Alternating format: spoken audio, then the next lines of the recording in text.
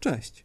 W dzisiejszym filmie pokażemy kilka awaryjnych kuchenek na drewno. W poprzednich omawialiśmy kuchenki na benzynę i spirytus oraz kuchenki gazowe.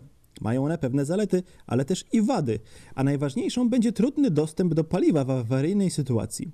Dlatego jeśli przygotowujesz się na koniec świata, jaki znamy, obejrzyj koniecznie ten film. Zacznijmy od Kelly Kettle. Jest to nic innego jak duży czajnik o nieco nietypowej konstrukcji.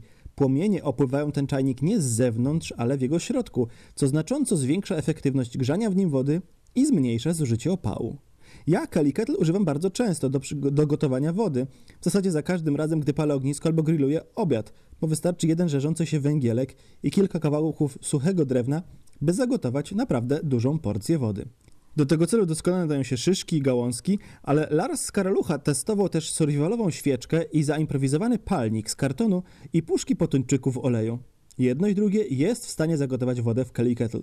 Ale Kelly Kettle jest samo z siebie w zasadzie tylko czajnikiem.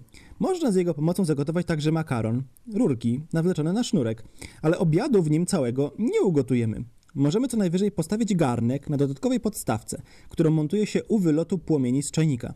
To pozwoli wykorzystać część ciepła uciekającego tamtędy do podgrzania czegoś w garnku. Ale tylko do czasu, gdy zagotujemy wodę w czajniku, bo potem nie ma to już sensu. Gdy ten moment nastąpi, zdejmujemy podstawkę do garnka i czajnik. Zalewamy herbatę czy co tam potrzebujemy zrobić, a później ustawiamy nasadkę hobostołów i na niej umieszczamy garnek.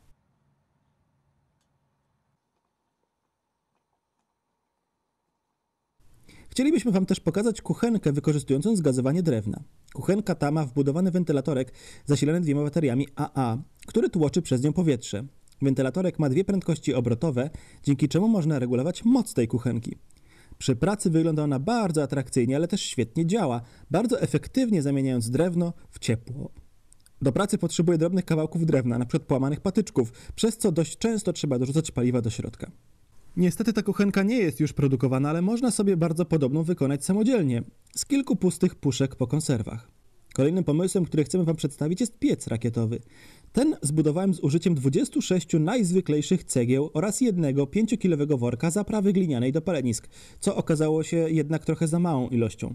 Jego budowa jest tak banalna jak budowa wieży z klocków Lego. Zaletą takiego piecyka jest lepsze wykorzystanie ciepła niż przy gotowaniu na ognisku. Łatwo postawić jest garnek czy patelnię tam, gdzie koncentruje się całe ciepło wytworzone w palenisku. Dokładanie paliwa do paleniska sprowadza się zaś do dosuwania coraz głębiej kolejnych patyków. Jak widać na piecu rakietowym można postawić nie tylko zwykły garnek, ale można także i Kelly co też czasami mi się zdarza. Wszystkie pokazane tu kuchenki na drewno mają olbrzymią zaletę, jaką jest to, że działają na drewno.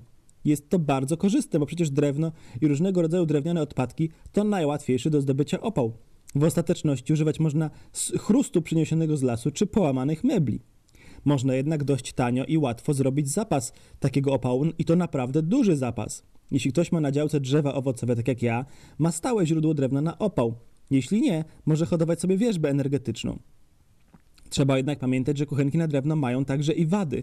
Głównie dlatego, że nie bardzo nadają się do wykorzystania we wnętrzach. No i trudno zrobić zapas tego drewna, jeśli mieszkasz w bloku. Takim przypadku pozostaje Ci używania peletów drewnianych, które można kupić w plastikowych workach i gotować na kuchence na balkonie. Lepsze to niż głodowanie, prawda? Obiecaliśmy, że w ostatnim materiale porównamy wszystkie rodzaje awaryjnych kuchenek i poradzimy Wam, które z nich kupić. W pierwszej kolejności radzilibyśmy zrobienie kuchenki na spirytus z dwóch puszek po piwie. Jest to tak banalne, że aż szkoda tego nie zrobić, a w dodatku niemalże darmowe.